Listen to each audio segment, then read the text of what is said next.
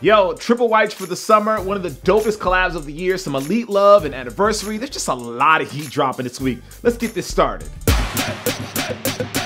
Welcome to the Heat Check. I am your host, Jacques Slade, and as you just heard, there is a ton of heat dropping. And the first thing to pop on my radar is the Jordan Fly 89. Now, most of you have probably seen this silhouette quite a bit in the last few weeks, but we are now finally getting a full release. The model is a full lifestyle take on the Air Jordan 4 with some strong hits at that model's key features. This weekend is going to arrive in black, white, wolf gray, and in a light bone as well. All four of those colors are available right now over at Finish Line for $110. Keeping with the lifestyle approach or a more urban commuter sort of approach, I'd say, Nike is dropping the ACG 07 Commuter for 150.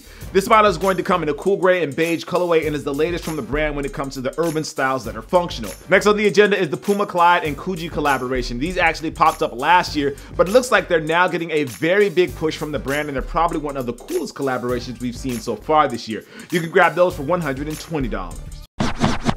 Jumping to tomorrow, it looks like Nike is really going to go crazy with the Nike basketball releases. But before we get to them, let's talk about Jordan Brand and the Air Jordan 31 Low. This colorway is officially called Midnight Navy, and I kind of feel like the Jordan 31 is one of the shoes that's going to get a lot of love this summer. Those will cost you $160. Keeping with the basketball vibe, the first release of the KD 10 is dropping tomorrow as well. The official name of this shoe is Anniversary, and it introduces the shoe with an updated look and it also has a new lacing system. Those are going to cost you $150. If you're not ready to move on to the KD 10, the KD 9 Elite is dropping in the Hyper Orange or San Francisco Giants colorway. For anyone in the Bay that is the Giants fan, these are a must-have. Those will cost you 150 as well. Yo, if you're one of those folks that like to do it in all white for the summer, Nike Sportswear has you covered with the Air Max 2 Up Tempo, the Air Max Up Tempo 95, and the Air More Up Tempo. All three pairs are dropping in an all white colorway that looks really clean for those white parties that you go to in the Hamptons. I mean, the things are literally all white from the outsole all the way to the heel to the toe. You can check for those dropping tomorrow as well.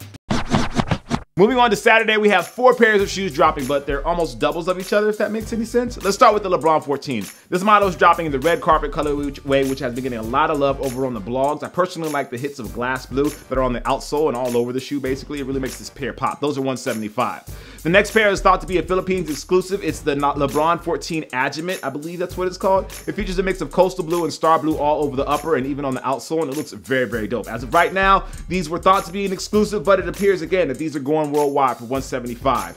Jumping over to the Jumpman, we actually have two releases of one of my favorite silhouettes ever, the Jordan 11 Low. First up in the grade school size, we have the release of the Blue Moon colorway of the shoe. For the grade school size, it looks like they replaced the patent leather with a different material around the rand, but the Blue Moon colorway still looks very, very chill. If you wear those sizes, you can pick those up for 130. As for the men, Jordan Brand is hooking us up with the Jordan 11 Low Barons. These have an almost rubbed leather look around that patent leather rand, and they're inspired by Jordan's baseball team that he played on when he retired from basketball the first time. Those are going to cost you 175, and you can grab them on Saturday over at Finish Line.